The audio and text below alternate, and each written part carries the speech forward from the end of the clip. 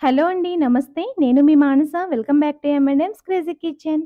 ఈరోజు వీడియోలో నేను చెప్పే చిన్న చిన్న టిప్స్ ఫాలో అయ్యి చేశారంటే స్వీట్ షాప్‌లో దొరికే టేస్ట్‌తో కాజు కట్లీ ఇంట్లోనే చాలా సింపుల్ అండ్ టేస్టీగా చేసుకోవచ్చు.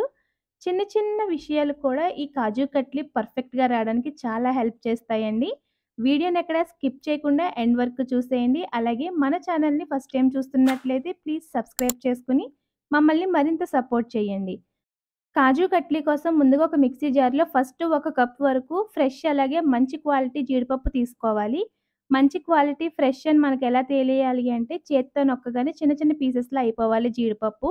ఇప్పుడు వీటిని 2, 3 సార్లు జస్ట్ పల్స్ ఇచ్చి బ్లెండ్ చేసుకోవాలి. ఇలా చేయడం వల్ల మనకి కాజు పౌడర్ పొడి పొడిలాడుతూ ఉంటుంది. ఇప్పుడు ఈ పొడంతటిని కూడా జల్లించుకోవాలి. పల్స్ ఇచ్చి బ్లెండ్ చేసుకోవడం వల్ల జల్లించుకున్న తర్వాత మనకి జీడిపప్పు పొడి ఇలా పొడి పొడిగా ఉందన్నమాట. ఇప్పుడు మిక్సీ జార్‌లో మరొక కప్పు వరకు జీడిపప్పు అలాగే జల్లించి పెట్టుకునే జీడిపప్పు మొరుం కూడా వేసుకుని మరొకసారి బ్లెండ్ చేసుకొని జల్లించుకోవాలి. ఇదే విధంగా 2, 3 సార్లు బ్లెండ్ చేసుకుని మొత్తం పౌడర్ జల్లించుకున్నాక లాస్ట్‌లో మిగిలిన ఈ జీడిపప్పు పౌడర్ అంతటిని కూడా ఫ్రిడ్జ్‌లో స్టోర్ చేసుకుని ఏదైనా కర్రీ రెసిపీస్ లేదంటే స్వీట్ రెసిపీస్ అప్పుడు కూడా వాడుకోవచ్చు. ఇప్పుడు స్టవ్ మీద పాన్ పెట్టుకొని ఒక కప్పు పంచదార, అర కప్పు వరకు వాటర్ యాడ్ చేసుకొని ఈ పంచదార మొత్తాన్ని పూర్తిగా కరిగించుకున్న తర్వాత దీనిపైన ఫామ్ అయిన వైట్ లేయర్ అంతటిని కూడా స్పూన్‌తో తీసేసుకోవాలి. ఎప్పుడైనా సరే కాజు కట్లీ చెయ్యాలి అంటే జీడిపప్పుని పల్స్ మీద బ్లెండ్ చేసుకోవాలండి. చూసారు కదా! మనకి షుగర్ సిరప్ బాయిల్ అయ్యి ఒక స్ట్రింగ్ అంటే మనకి తీగ పాకం వచ్చేంత వరకు మరిగించుకొని ఇందులో మనం రెడీ చేసి పెట్టుకున్న జీడిపప్పు పౌడర్ వేసుకొని ఉండలు లేకుండా లో ఫ్లేమ్‌లోనే కలుపుకోవాలి. జీడిపప్పుని పల్స్ మీద కాకుండా లో స్పీడ్‌లో బ్లెండ్ చేశారంటే కంటిన్యూగా ఖచ్చితంగా జీడిపప్పులోని ఆయిల్ అయితే రిలీజ్ అయిపోయి మనకి కాజు కట్లీ పర్ఫెక్ట్‌గా రాదు. జీడిపప్పు పౌడర్ మొత్తం కరిగిన తర్వాత ఇందులో పావు కప్పు వరకు మిల్క్ పౌడర్ యాడ్ చేసుకొని ఉండలు లేకుండా బాగా కలుపుకోవాలి. మిల్క్ పౌడర్ కూడా ఉండలు లేకుండా కలుపుకున్నాక ఇందులో అర టేబుల్ స్పూన్ వరకు నెయ్యి వేసుకుని మరొకసారి వీటన్నింటిని కలుపుకోవాలి. ఇదే విధంగా కంటిన్యూగా కలుపుకుంటూ కాజు కట్లీ రెసిపీ దగ్గర పడేంత వరకు కలుపుకోవాలి. మనకి ఈ విధంగా రిబ్బన్ కన్సిస్టెన్సీ వచ్చేంత వరకు కలుపుకోవాలండి. వన్స్ రిబ్బన్ కన్సిస్టెన్సీ వచ్చింది అంటే ఇది పర్ఫెక్ట్ కన్సిస్టెన్సీ.